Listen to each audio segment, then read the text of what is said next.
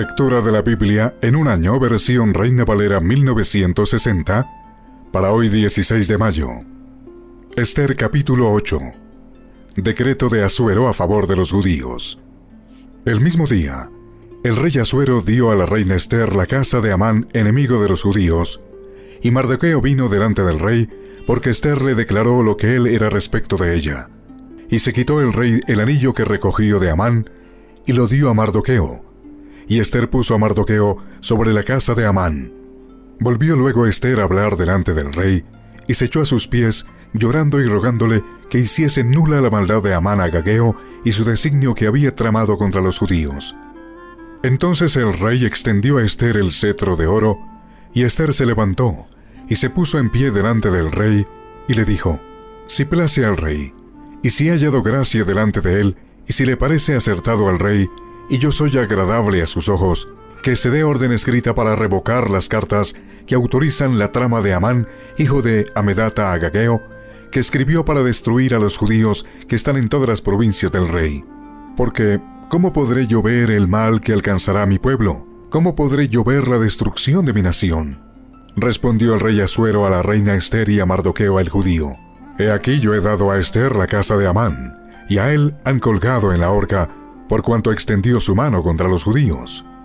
Escribid pues vosotros a los judíos como bien os pareciere, en nombre del rey, y selladlo con el anillo del rey, porque un edicto que se escribe en nombre del rey y se sella con el anillo del rey no puede ser revocado.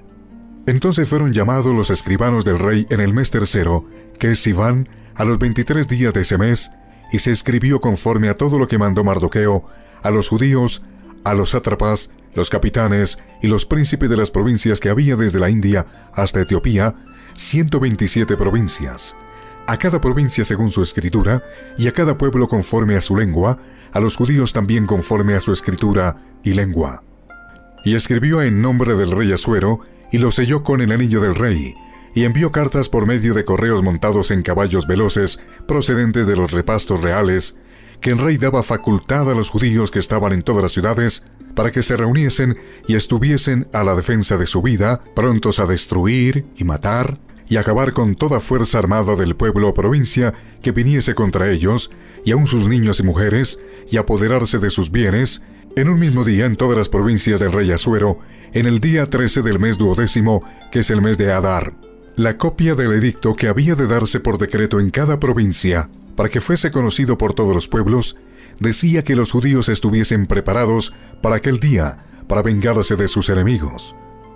Los correos, pues, montados en caballos veloces, salieron a toda prisa por la orden del rey, y el edicto fue dado en Susa, capital del reino. Y salió Mardoqueo de delante del rey con vestido real de azul y blanco, y una gran corona de oro, y un manto de lino y púrpura. La ciudad de Susa entonces se alegró y regocijó y los judíos tuvieron luz y alegría, y gozo y honra.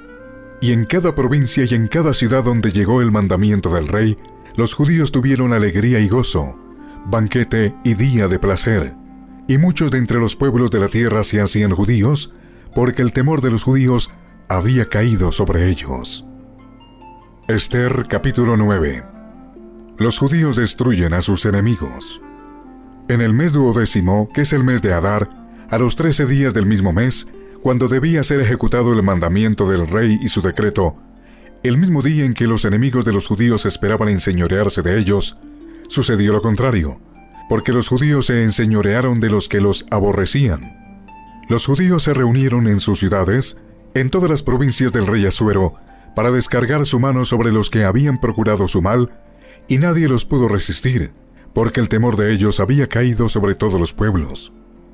Y todos los príncipes de las provincias, los sátrapas, capitanes y oficiales del rey, apoyaban a los judíos, porque el temor de Mardoqueo había caído sobre ellos.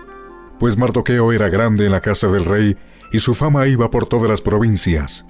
Mardoqueo iba engrandeciéndose más y más. Y asolaron los judíos a todos sus enemigos a filo de espada, y con mortandad y destrucción, e hicieron con sus enemigos como quisieron en Susa, capital del reino, mataron y destruyeron los judíos a 500 hombres.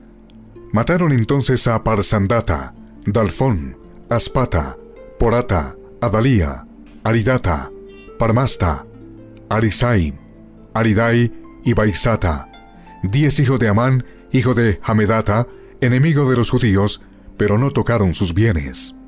El mismo día se le dio cuenta al rey acerca del número de los muertos en Susa, residencia real. Y dijo el rey a la reina Esther, en Susa capital del reino los judíos han matado a 500 hombres y a 10 hijos de Amán. ¿Qué habrán hecho en las otras provincias del rey? ¿Cuál pues es tu petición? Y te será concedida. ¿O qué más es tu demanda? Y será hecha. Y respondió Esther, Si place al rey, concédase también mañana a los judíos en Susa que hagan conforme a la ley de hoy, y que cuelguen en la horca a los diez hijos de Amán. Y mandó el rey que se hiciese así. Se dio la orden en Susa, y colgaron a los diez hijos de Amán. Y los judíos que estaban en Susa se juntaron también el catorce del mes de Adar, y mataron en Susa a trescientos hombres, pero no tocaron sus bienes. La fiesta de Purim. En cuanto a los otros judíos que estaban en las provincias del rey, también se juntaron y se pusieron en defensa de su vida, y descansaron de sus enemigos, y mataron de sus contrarios a setenta y cinco mil, pero no tocaron sus bienes. Esto fue el día 13 del mes de Adar, y reposaron el día 14 del mismo, y lo hicieron día del banquete y de alegría. Pero los judíos que estaban en Susa se juntaron el día 13 y el 14 del mismo mes, y el 15 del mismo reposaron y lo hicieron día de banquete y de regocijo.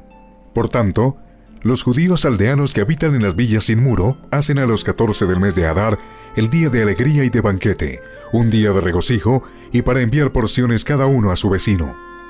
Y escribió Mardoqueo estas cosas, y envió cartas a todos los judíos que estaban en todas las provincias del rey Asuero, cercanos y distantes, ordenándoles que celebrasen el día decimocuarto del mes de Adar y el decimoquinto del mismo cada año, como días en que los judíos tuvieron paz de sus enemigos, y como el mes que de tristeza se les cambió en alegría, y de luto en día bueno, que los hiciesen día de banquete y de gozo, y para enviar porciones cada uno a su vecino, y dádivas a los pobres.